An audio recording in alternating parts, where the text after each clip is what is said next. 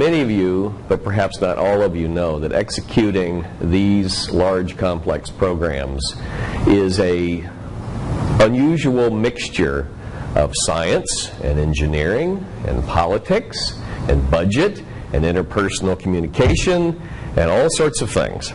And a decade ago, I had the opportunity to completely restructure the Mars program so the mission Q that you've seen for the last 10 years was created uh, in that chaos that came out of the loss of the two Mars 98 missions. Uh, after years of arm twisting by some of my colleagues who said, you know, uh, how often is it that a decade's worth of mission actually survives the Washington process?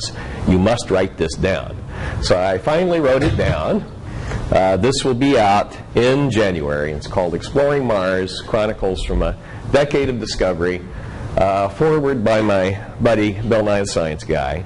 And I think the content of this, because I go into the fallout from faster, better, cheaper, the interaction of personalities, a lot of the backstory. This is a personal story, it's not a textbook. Uh, uh, a lot of what it takes and what these gentlemen like Paul Hertz and what Orlando Figueroa until very recently, Steve Saunders and others have to deal with uh, in the Washington environment. So thank you for your indulgence. Now, let me talk about uh, the, the project manager and the management process in the context of a mission that I had the opportunity to manage uh, almost 15 years ago. I was really delighted, though, to see the discussion of WIRE. Um, when I served on the Columbia Accident Investigation Board, I was the only NASA person there, which is an unusual experience in and of itself. Uh, we discovered that the Navy was absolutely insistent that every person that went through the Naval Academy, every person that signed up for the Submarine Corps, study the Thresher accident understand not only the technical cause, but the organizational cause. And when we did the Columbia review and published our findings, it was equal weight, technical and management issues. And our summary conclusion after looking at this was that NASA does not generally do a good job of looking at its failures as well as its successes. And often, as everybody knows, you learn more from your failures than your successes. So, uh, in this case, uh, I have a success to report. Uh, I was the NASA manager of this mission from for uh, its proposal stage up through 1998 uh, when it was well into its data collection mission. It was uh, created to understand the distribution of elements, the composition of the moon, its resources, and then, of course, that leads us to understanding the origin and evolution of the moon. It was right in the crosshairs of Dan Goldin's Faster, Better, Cheaper initiative. And so at this point, he was saying things to us NASA people like, You're all just a bunch of dumb bureaucrats. Write checks and stay out of the way. And uh, of course, we all saluted, uh, uh, but occasionally I would violate that, but I didn't tell Dan. You have to use your judgment. You have to look at the case that's in front of you and the situation you're facing and decide what is the proper balance of insight and oversight, what's the right way to deal with your particular uh, configuration. We were the first. Lunar Prospector was the very first competitively selected Discovery mission. Uh, Discovery was created as a way of doing competitive PI led small planetary missions. And of course, it drew on a lot of the history of the Explorer program. But we were feeling our way. And as you'll see, the management construct that we came up with was somewhat unusual, but it was a way of adapting to the situation at hand. We also had a goal, and this was the beginnings of uh, major efforts that we now have in education and public outreach uh, for the planetary program. We had to invent a number of things on the fly. So this mission uh, had six experiments, five instruments, gamma ray spectrometer, neutron spectrometer, electron reflectometer, a magnetometer, and an alpha proton X-ray and a radio experiment. Um, the mission was, a, as you will see shortly, a lunar orbiter. Uh, it was built around the bus that was designed for the Iridium communications satellites, spin stabilized like the, the Pioneers that were done for so many years at Ames, uh, and was in everything that we did, we hoped the model of simplicity. The total cost $63 million, which I think is still the record for planetary missions. Uh, you'd have to inflate that to today's dollars, but it's still well below what typically takes to do that type of an investigation. Um, the five instruments, which uh, largely came from Los Alamos National Lab as well as UC Berkeley, about three and a half million. Uh, the total cost for the spacecraft and all the analysis, 22 million. The launch vehicle was 26 million. Now, someone years ago started a scurrilous rumor that this mission got a free launch. Not true. That was incorporated into the price of, uh, of the mission and so forth. One thing that I'll point out and come back to uh, was the award fee because, again, we were feeling our way as to how NASA would deal with the contractor community and the PI in this cost constrained world uh, where you had the administrator breathing down your neck, telling you faster, better, cheaper, and of course you had a lot of grizzled, seasoned project managers in the back of the room mumbling to themselves, well, you can have any two or three, but you can't get all three.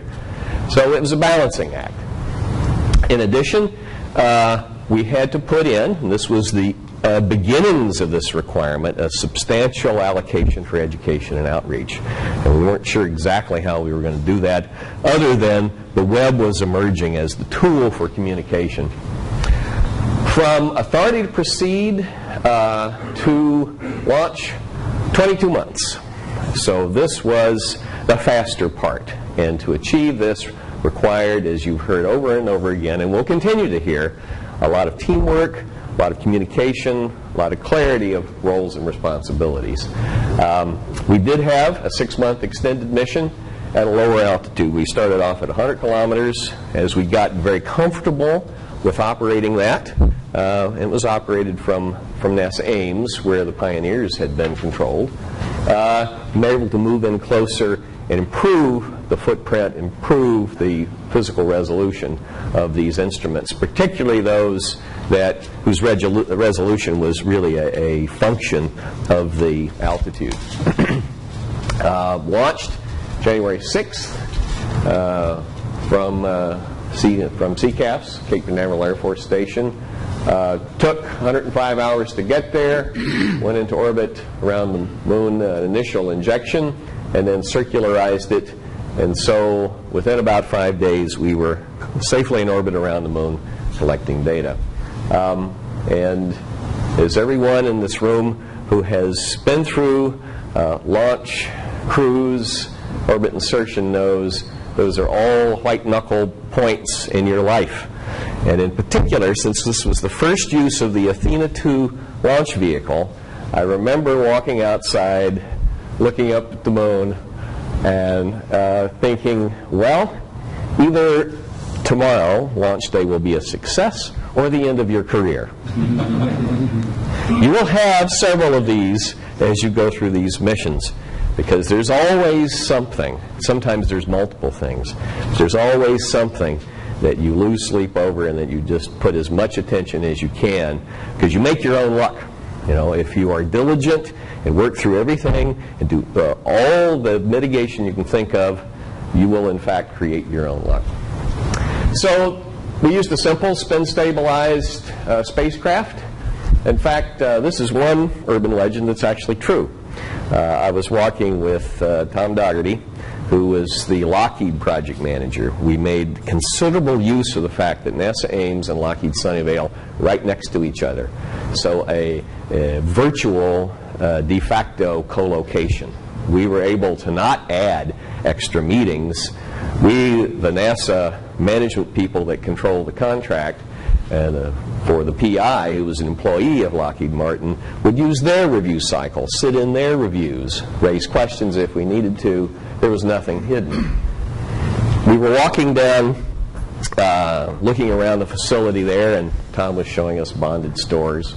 And uh, there was this trapezoidal shaped thing sitting in one of the clean room bonded stores. And I said, Tom, what's that? And he said, oh, that's, that's the Iridium bus. I said, well, you think you can get it?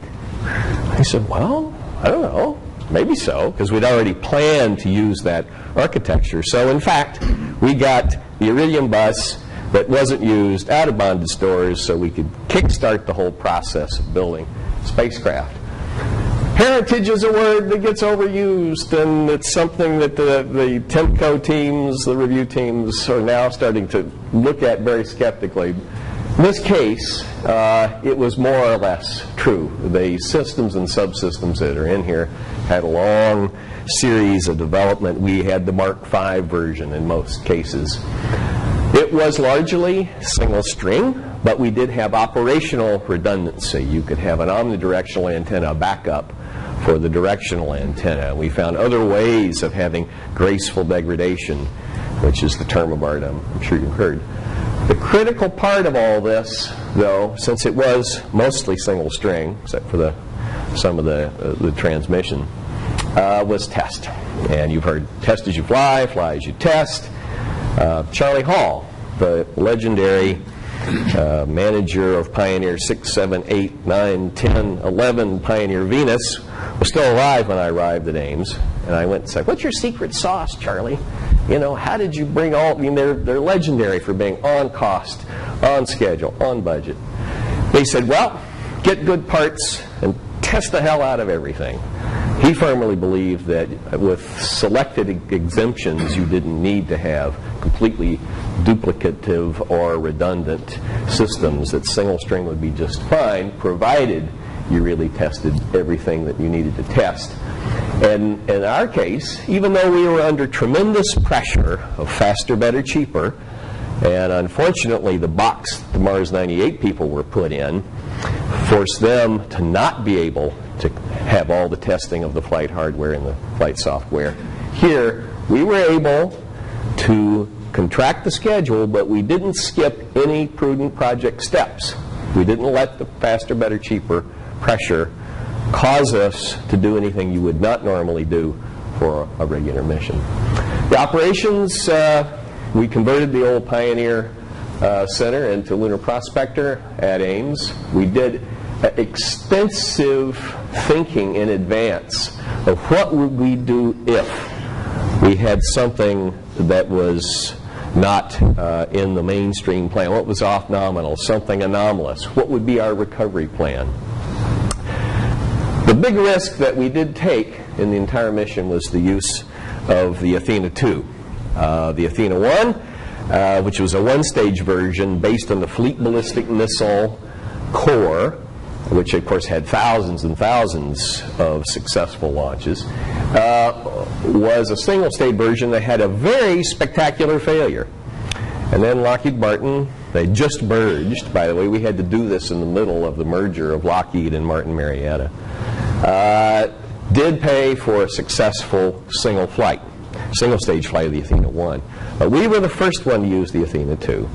So we had review teams crawling up our back, uh, you know, following us around. We had reviews morning, noon, and night. We I remember going to Denver, sitting in a review at the uh, Lockheed Martin plant responsible for this on December 22nd.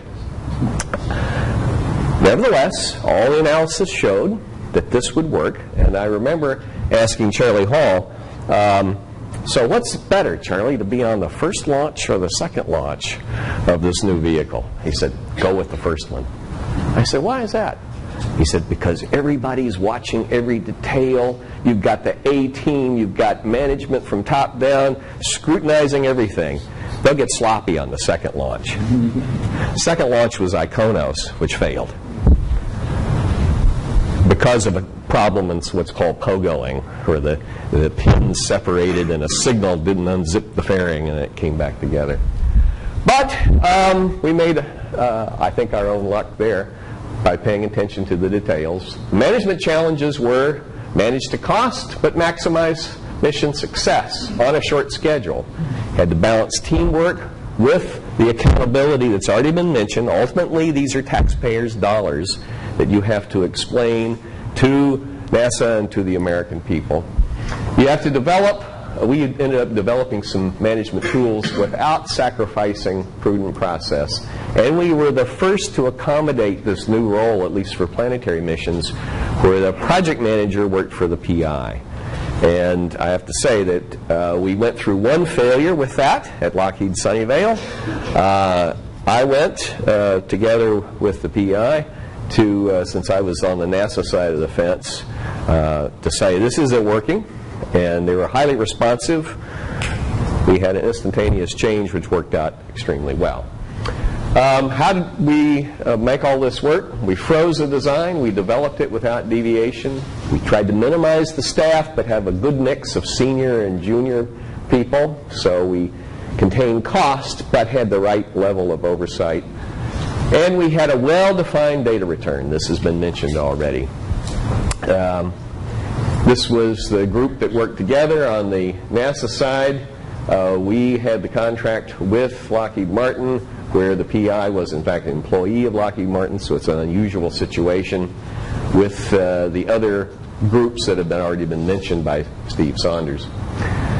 So we balanced what's now called insight with oversight, simplified systems but prudent practice. Uh, the award fee was very important to Lockheed Martin, and I told the senior management if they did it uh, properly, I would give them the maximum award fee allowed by law, which is 15%. They did, and I did, and it worked out extremely well. Subcontracts are all fixed price. And Tom Dougherty was just a master since he knew the organization at moving people on and off so they didn't charge the contract any longer than they absolutely had to. So we exploited the proximity of NASA Ames being next to Sunnyvale, minimized the team side, uh, but maintained continuity. We combined these in-depth reviews with normal milestones. We didn't have duplicate meetings or reviews, and we used Lockheed Martin's contractor systems wherever possible. So in the end, uh, we met our goal of a very short development. We stayed inside the cost box. First use of the vehicle was successful. And in the fledgling world of education and outreach, 100 million hits is trivial now, but at the time, 10 years ago, it was a big deal. So those are the ingredients. I wish you all the success in the world to make them work for your project.